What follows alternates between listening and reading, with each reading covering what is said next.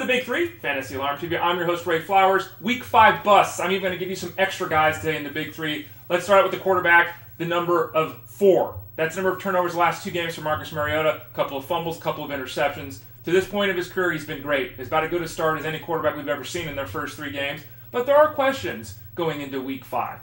The Bills have allowed 10 touchdown passes, which is a big number, but they also have a defense that can be salty at times. You look at the weapons that Mariota had to utilize, and you know, can you count on Dorial Green Beckham at this point? No, you certainly can't. Harry Douglas? No, you certainly can't. Delanie Walker and Kendall Wright, two good players. Those are really the only guys we can trust as pass catchers. And then we know in the backfield it's a totally topsy-turvy situation. Sankey, Andrews, McCluster. We just don't really know what's going there. I'm throwing the bust warning out with Mariota. This is going to be his worst game of his NFL career to date, and I don't think you should be starting him in any setup unless you're starting two quarterbacks in Week Five. Second number of the day is three, as in the number of running backs I'm going to talk about that are all going to bust this week. Shane Vereen's the first one. Shane Vereen has less than six points in a PPR setup the last two weeks. That's awful. Can't be starting him at this point.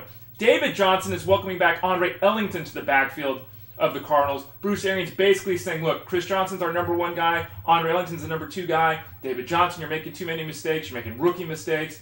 Good things happen most of the time when Johnson touches the football. All those big plays, special teams, everything else. But he's also committing rookie mistakes, and he has now slid down to the third spot in the pecking order in the backfield for the Cardinals as long as Andre Ellington plays as expected this weekend. Final number of the day is 2.6, as in the number of catches per game last season for Martavis Bryant. Now, Bryant returns from suspension. He's uh, obviously been out for four games, back on the field now. 2.6 catches a game was his average last year. It's not a good mark. 4.8 targets a game, very low mark as well.